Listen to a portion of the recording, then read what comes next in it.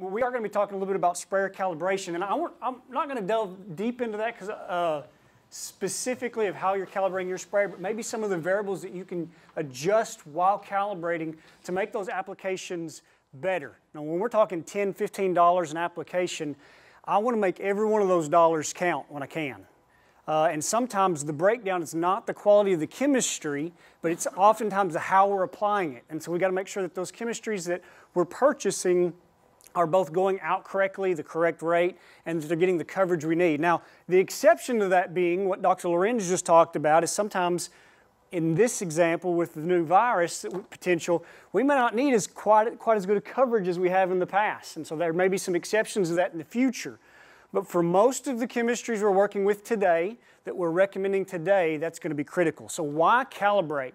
Well, a lot of them, uh, the chemistries, uh, if you look on those sheets that were sent out earlier, particularly the insecticides, go out at a rate of one ounce per acre or less, even a half ounce, some of them. That's the equivalent of putting or trying to apply a heaping tablespoon of salt or sugar or whatever, whatever uh, um, powder that you'd like to, to, to, to consider here and spread that over an entire football field evenly. Now try imagine doing that without using your spray equipment, right? That's pretty incredible what you're, the chemistry that you're doing in the field and doing that to the efficacy level that we get. You also see how that can fall apart pretty quickly when we've got either clogged nozzles or our speed's off. We don't have enough water in the tank or the wind's blowing too hard, right? We see where these applications start falling apart. And so let's look at some of those application variables quickly and how we can adjust these going from maybe instead of a Grazon application that may have held up just fine with that sprayer to now we're making an insecticide application, what do we need to change to have the same level of efficacy with that application and that, that new product? So we're going to take a look at uh, adjusting your swath width. Most of you probably, I would guess, are using a boomless top sprayer or some type of boomless sprayer. Uh, we're going to look at equipment speed and how to measure that and then your nozzle flow from those boomless, boomless sprayers. And so let's, let's start taking a look here at swath width. Swath width uh, on a boomless sprayer is not actually going to be your, your measured or observed swath width.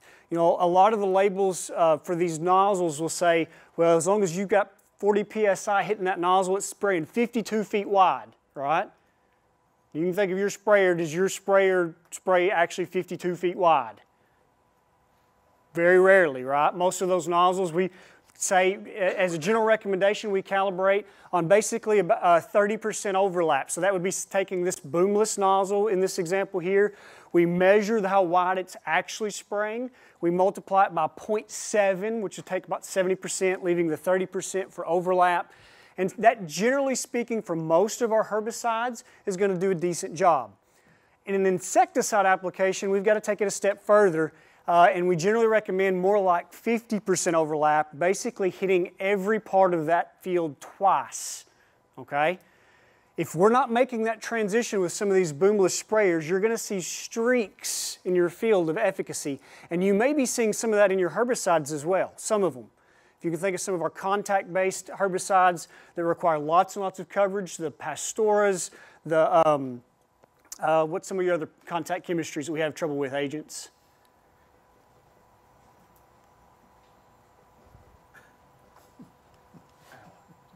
What are we killing on Johnson grass with or trying to? Did everybody step out? Pastora is one of them, and you know, most actually on the label, there's recommending on Pastora. If you read carefully on some of those applications, they recommend 50, 60, 70, 100 gallons per acre in some applications. Is anyone in this room putting anywhere, anywhere above 25 gallons per acre out? Probably not. That's because of the contact sensitivity of that application. And so keeping your swath width in mind, and we'll look at this, an example here in a second, is going to go a long ways, uh, long ways towards that. Swath width on a boomless sprayer is also very closely tied to droplet size. Now what, the, what I'm referring to here is, is basically uh, each of these chemistries are going to have a droplet size uh, that the chemistry is going to work most effectively at because of how much it's got to be spread out on that leaf or the, uh, coverage that it requires. As an example, if you spray uh, a, a, systemic chemistry like Grazon, you can go out with a much, much larger droplet because it's a systemic herbicide. Whereas you move with most contact insecticides, and they're going to require much smaller droplet, that smaller droplet provides much, much higher coverage. These are, are, mathematical representations, and so this is not 100% accurate, but I want to show you the comparison here of a 100 micron fine droplet spectrum, assuming, and here's what's incorrect, assuming all droplets are the exact same size and 100% of them made it to their intended target. And you know that both of those are incorrect, but we can't do the math without making those assumptions. In this example here, we've got 12,600 drops on the left and if you move the exact same 10 gallons per acre in the field up to a larger droplet size here, which this is about an 800 micron, so eightfold increase, it drops 12,600 drops down to 22 per square inch. Okay? Now you would never intentionally go out and put an insecticide out with this size droplet, it's particularly a contact-based chemistry, because you need better coverage than that. But in reality, that's exactly what we're doing with our boomless sprayers. The middle of the sprayer has a much, much finer droplet pattern. And as you move further and further out, what do the droplets get? Larger, right? The wind has either stripped the smaller droplets out of the pattern, or the only droplets that have the momentum to carry out 10 or 15 away, feet away from the sprayer are those larger droplets. And so the reality is, is a lot of times we're going out with our boomless sprayers, putting this size droplets in the middles, and these on the extremes, and we have these streaks of efficacy because these contact products may or may not make contact with their intended target. So how do we fix that? The best thing you could do is use a boom. Now everybody in Zoom world and here in this room can yell at me, right? Because we're are we are we using booms? Generally speaking, in our pastures. Okay, good. That's awesome if you can. There's are there are all pastures in the state of Arkansas? Can we use a boom? No. Why? We've got trees, stumps, ditches, fences, telephone poles. We've got all kinds of issues in the field that don't allow for the booms to go out and to come back in one piece, right? So we've got to take that in consideration. And so we oftentimes we select equipment uh, that's not a boom. Just as a let's let's say it's our our ideal application. What does that look like with a boom? With a boom sprayer, we're getting typically 90 to 100% overlap of those nozzles based on the spacing. These are spray uh, droplet cards, that, uh, water sensitive paper, so that basically we can run over an application uh, spraying these cards and it gives us a very good representation of the coverage that we got uh, in that application. And so I'm going to look at three examples, this being the first with a boom. Uh, and this comes from data we've got at the Livestock and Forestry Research Station up at Batesville. We've got a sprayer set up with three different sprayers set up on one uh, one piece of equipment, a flip of a switch, an applicator can flip flop back and forth between a boom and two different styles of boomless nozzles, and I'll share that data with you as we move through the presentation. Uh, and so, but this is kind of your gold standard application. We get excellent coverage with the boom, and then we also get excellent efficacy. This is showing uh, the white line here is actually going to be, on each of these examples, is going to be the meeting passes of those sprayers. So the sprayer drove down the yellow line on the right, and then uh, come back on this other side, this would be the meeting edge of, that, of those two booms. Okay, so we see clean middles on both, both of those applications. This is uh, Roundup on wheat killing off uh, in the spring, and then this is in the fall, wheat coming up. They, they made an application before the wheat came up. Okay, so that's just, that's the context for this. So booms are gonna be the best way to go because of the coverage you're gonna get 10 to 12 gallons per acre is going to be more than, more than efficient. In this example, we used 15, okay? So let's say we're not using a boom because of one of the, uh, the situations we listed earlier. This is probably one of the more common nozzles that's used in the state right now in those situations. It's called a Hamilton AgriJet. Um, and if you look, I'll zoom in just a little bit here. If you look at swath width here, Look how wide those swaths are. Somewhere between 44 feet for this nozzle and 58 feet. How many of you have used a nozzle of this style, top? Okay? Are any of them running close to 60 feet wide? Nowhere close, okay? Generally speaking, I'm not very comfortable with any nozzle on the market reaching out much more than 12 or 15 feet and counting on it to do much, unless it's a very highly systemic product. Uh, the fall armyworm virus may be an example of something that, that stretches outside those bounds. But in general, uh, these numbers here are just to give the manufacturer something to calibrate based on. I would not go off of that sheet exclusively when making your calibrations. So in this example, we followed what we generally recommend, uh, which is a, about a uh, 60 to 70% of your overall swath, or basically a 30 to 40% overlap. So the example, or the data I'll show here in a second, or the images will be a uh, basically 40% overlap. This is on the sprayer I mentioned earlier with the boom. So this is a different, app, same field, same environmental conditions. All we've done is flip the switch to the Hamilton nozzle uh, 40 psi, 15 gallons per acre, same speed, okay? Here's the droplet patterns for the exact same measurements we looked at earlier. So this is the center of the boom. We've got moving eight feet away from the center and then on the 16 foot edge. So we're only measuring 32 feet wide, not 50 or 60, but 32 feet wide. And you see the coverage that we got at that 16 foot outside of center. This is why sometimes our applications fail with these particular nozzles. And again, this is with 40% overlap. That card got hit twice, one from both, side, both edges of two different sprayers, okay? And then this is some of the efficacy results. Uh, maybe a little difficult to see with the lighting. But you can see what you've, you might have experienced in your field, several escapes most of which are going to follow the line of where the sprayer's edges met. Those areas that even though that card got hit twice, you see a substantial reduction in coverage and therefore efficacy. This carries very heavily into, or this really carries well into insecticide applications where you're going to have areas of basically safe harbor for those insects that never got hit. Okay? So keep that in mind.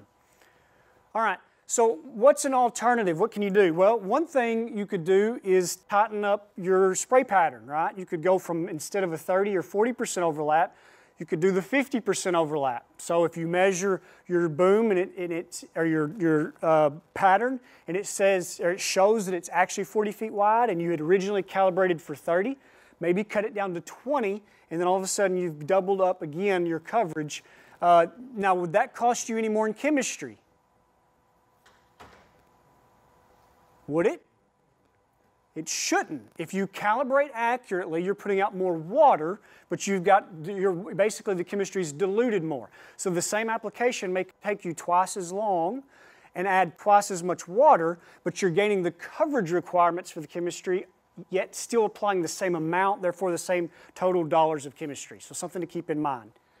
Okay, here's another alternative. Uh, it's a hybrid system uh, that we've been working with that combines a small boom with small extender nozzles. You may have seen your county agents in, the, in your counties may have some of these setups. we've got about 10 or 12 of them in the state. And the way this works is, is again, you've got a boom basically however wide you're comfortable with. Most producers I work with make it just out uh, the flush with the edge of their sprayer tires or their tractor tires. So you're talking about an 8 or 10 foot wide boom that you're not going to drag off in the field. And then you install these extender nozzles on the ends.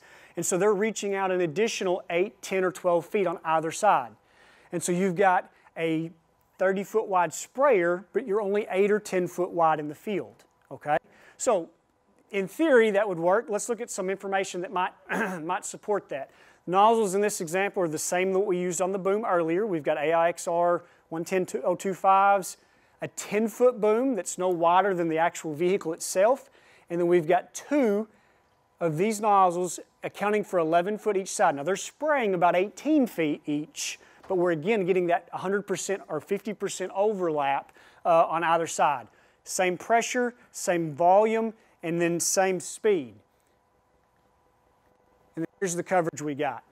Didn't cost any more. It's no wider than the vehicle, just like the other boomless nozzle, but we got much, much better coverage than we did with our uh, that other Hamil Hamilton nozzle, uh, basically without slowing down and not adding any more water. And so it's a much, much better system uh, in that regards.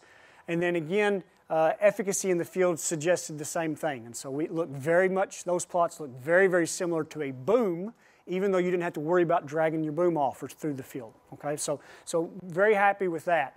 Uh, okay, so swath width, the take home there is be very realistic about what you're actually spraying. If, if you need to be spraying wider or you're not getting the coverage you'd like, maybe considering adjusting that variable to make your boom, you're using a boom, making your boomless nozzle narrower, or using a different style system that allows you to spray wider than you currently can. Equipment speed. Um, when calibrating, that's going to be a, major factor here. I'm just going to show you a couple tools that's out on the market that may be of assistance. If you've got a tractor-mounted GPS system, that's awesome. Uh, those are excellent systems as far as maintaining overlap, appropriate overlap with sprayers. They also, while calibrating, tell you an accurate speed. So you can trust that those systems uh, for your speed calibrations.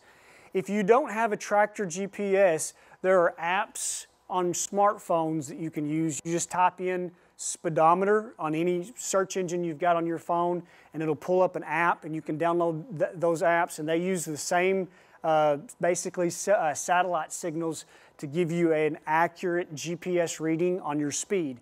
Accurate enough for calibration, so we're comfortable with that. And so use those.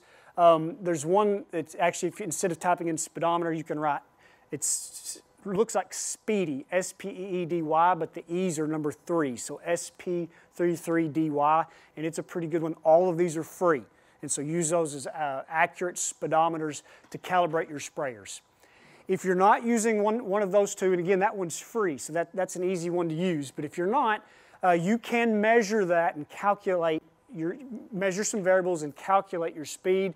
If you're going to do use this system, be sure to use similar terrain. So don't measure uh, climbing a hill and then, and then uh, spray a flat pasture and consider that an accurate reading. So get a good average between uh, hills and valleys when measuring.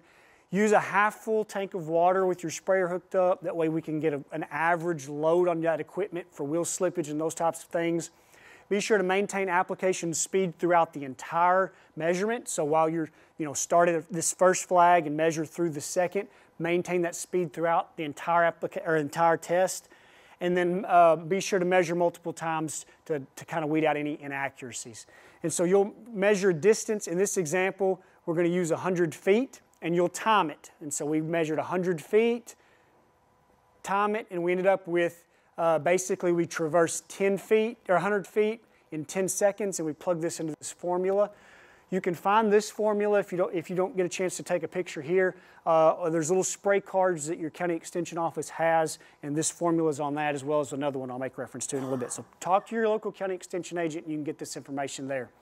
Uh, so in this example, 100 feet multiplied by 60 divided by the 10 seconds by the 88, the 60 and 88 are constants, shows that this tractor was traveling seven miles an hour. So that's important information whenever you're calibrating. Okay, Quickly, let's look into flow rate. Um, the third and final variable you're going to need to measure when calibrating is your nozzle's flow rate.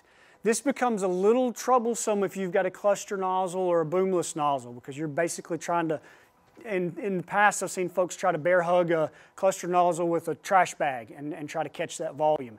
That becomes a little bit cumbersome and I don't usually like grabbing something that's had a lot of karate through it or something. Uh, that's of some concern. So um, when you're, I'll show you a, a, couple tricks on how to, how to do that easily. Uh, when you're measuring, let the sprayer build pressure, so don't uh, cover it, turn this pressure, the sprayer on and turn it off. It should be at full pressure the entire, entire time you're actually measuring. Be sure to observe your pattern for any anomalies. Uh, I've walked behind a lot of sprayers before that's got a lot of streaking that's not built into the design.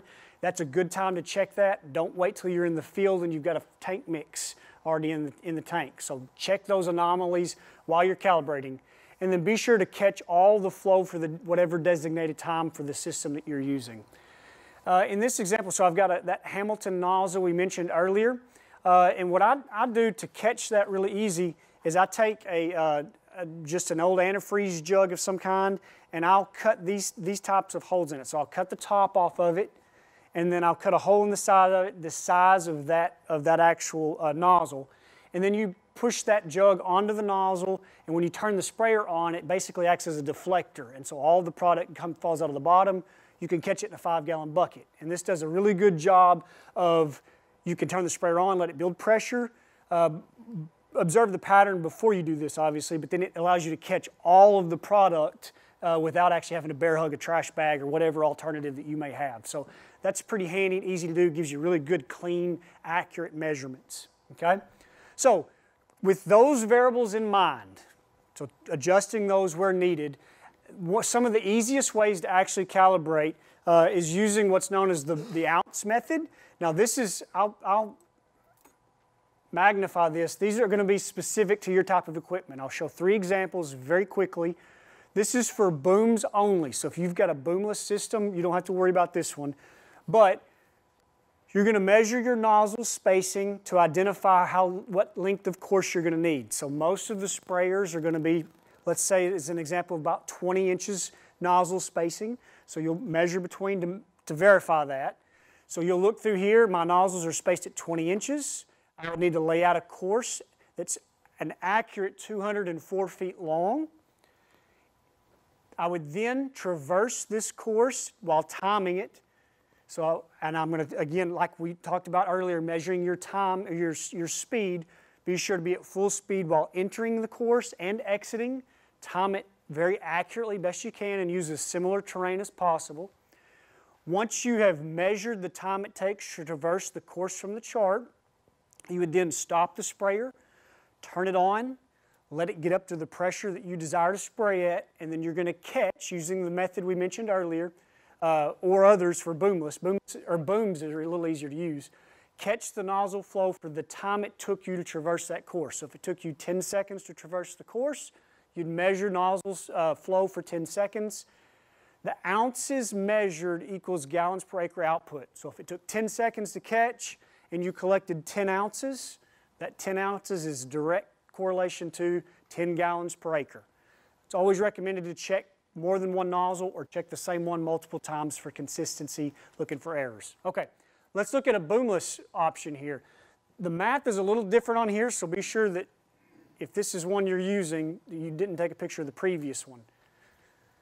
Same procedure, I'm not going to go all the way through it again, but your swath width, and this is your effective swath width. This goes back to how wide am I actually expecting that product to go. So don't look at the, the label from the actual nozzle. Uh, you need to observe this and maybe even consult with your local county extension agent to, to get, a, get a good recommendation on that. So if you, let's say you've got a nozzle that's you're comfortably spraying 30 feet wide, then in that example you're going to measure a course that's 145 feet long, traverse it, all the procedure will be the same, except that at the end the gallons measured times 10 equals your gallons per acre output. That's the only variation there, so keep that in mind, okay? So you're welcome to take a picture of this if, if that would be help, helpful. You may already have a procedure that works great for you, and so I'll leave that. If you decide to use the hybrid system, it's a little different, and you may want to contact your county agent, or I'd be happy to help or swing by or, or, or, or work with you and your agent if we need some assistance to get it done right the first time. But here's some tips on it. A hybrid system is a combination of boom nozzles and boomless, and you've got to treat those as separate sprayers when calibrating. So, and the, the, the, really the most important thing is to size the nozzles correctly when you purchase them. So don't go to the local hardware store find one of these nozzles and expect it to work out with the boom you have. Let's design it correctly the first time and then when we install it, it makes calibration much, much easier. Okay, so keep that in mind. If you're thinking about moving to this system over the winter in the next season, contact your local county agent. And if they uh, would like, they can call me, and between the three of us, we can figure something out to get you the parts ordered to do this correctly. This is not something you're probably going to want to piece together from what you can find locally exclusive, even though we certainly encourage you to buy locally. Let's get the correct parts ordered, okay? So treat them separate and then uh, you basically, you could use one of the systems or the other to calibrate, I'm sorry, you would use this, the formula here to calibrate those two to make them uh, put out the same amount of volume. Uh, and so your gallons per minute flow that you, you caught earlier times the constant divided by the speed you measured and the width in inches for the boom And you can measure that in inches for the boomless as well, either way. But we're trying to tweak those variables to make it uh, put out the same. Now here's the, the tip, if you're going to try to do this on your own, usually we get the boom nozzles done, we mount the boomless nozzles, see where we're at, and we adjust the amount of overlap to get that volume right is what we typically do. Okay, so that, if that helps at all, but again, contact your local county agent if you're thinking about moving to one of these systems. Okay, so we've determined the sprayer output. We know how many, let's say 15 gallons per acre we're putting out. What's the next step? What are we, what are we chasing here with calibration? Trying to figure out how much product to put in the tank, right? So I get, that's the phone call I typically get is I'm standing over my sprayer, it's a Sunday afternoon, the rain's coming in, how many glugs do I drop in the tank? Well, we, it's a little bit more complicated than that, but we're there now. We know that we're 10 gallons per acre currently, or 15, whatever it may be. So now what? Well, if you know your tank volume, so how big is your tank, you can divide that by how many gallons you're putting out per acre, and that tells you how many acres are in the tank. That's pretty simple. Then you can take how many acres you have in your tank when it's full and multiply by whatever rate that your county agent has provided you or the label that you're referencing. And that tells you how much product is needed to go into that tank. So let's look at an example. Let's say you've got a 200 gallon tank. You've calibrated at 20 gallons per acre. This may be an insecticide application. We're trying to up our volume to get better coverage. So 200 divided by 20 is 10 acres in that tank. So every time I fill up this tank, I'm getting, I've got 10 acres worth of application in it. 10 acres can be moved right down to this formula. And if, let's say it's a one ounce rate, as we've discussed in some of the products already this morning, 10 acres times one ounces, that means that every time I fill that tank up, I need to put 10 ounces of product in, mix appropriately, drive the speed that I calibrated at, at the pressure I calibrated at, and you're in good shape and you're able to put out that one tablespoon of product per football field accurately. Best you can tell, right? If you can hold the steering wheel straight, right, not have too many skips. Okay. So, like I said, I know uh, we're anxious to, to move, move on to, to something else. So I'll, I'll open for questions if there are any. Uh, but real quickly, in summary, Uniform coverage is critical for any applications. The best way to do that is always going to be a boom. You're never going to find a system that's going to be as good as a boom, but you can get close with some of these hybrid systems. If you're going to use any boomless, increasing the volume, so adding an extra 5 or 10 or 15 gallons per acre can help in these applications. Increasing your overlap can be a part of that puzzle. But regardless of what type of system you have or your application, you need to be confident in how much you're putting out so that you're calibrated accurately. Okay? Contact your local county extension agent if you need uh, assistance or refresher on any of that with your specific equipment. Okay? What questions are there? Yes, sir. I see some with some boomless people, some have the, the nozzle pointed up, some have it pointed down. What do you consider this? Okay, the question what the question was is uh, sometimes we see applicators that oftentimes will orient their nozzles in different directions. An example would be uh, spraying nozzles up in the air uh, or straight back. So um, it depends on the nozzle we're talking about. Some nozzles are designed to orient in different ways. The one we mentioned already this morning, the Hamilton nozzle, I have seen applicators that's designed to go down, okay? And I've seen applicators turn it horizontally so it's shooting straight back. The only thing I don't like about that is, is the, it's designed to provide a, a uniform pattern by lateral volume, meaning that it's a uniform amount of volume across at that orientation. And they take something out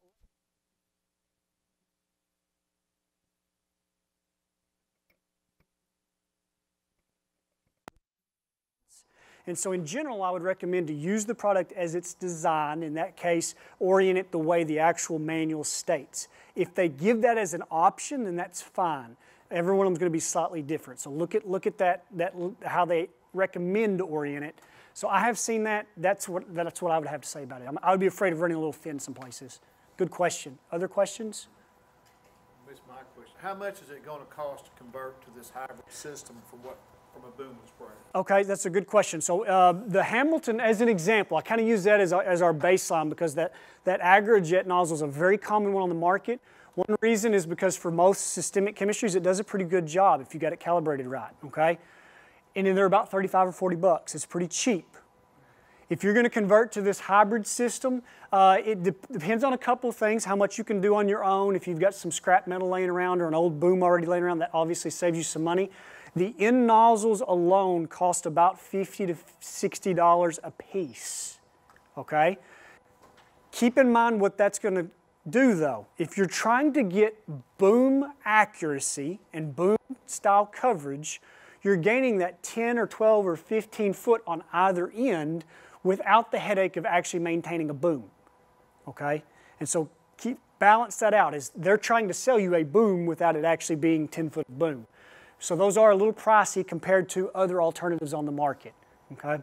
So if you were going to convert, you would need those two nozzles, which would be about around $100, maybe 125 uh, and then obviously the, the boom nozzles themselves, those are usually pretty cheap, five to eight dollars a piece. You'd need four to six of those. And the assorted hose, hoses and fittings, usually for easily less than $200, we can convert you. Some folks, when they do that, also upgrade to stuff like extra valves and some other options. If you think about it, if you've got a boom and the extender nozzles, you can all of a sudden turn everything off but one and spray just a fence row or just a roadside ditch. And you don't have that option with all of your other systems. And so you can add some other, other things that may add some extra cost.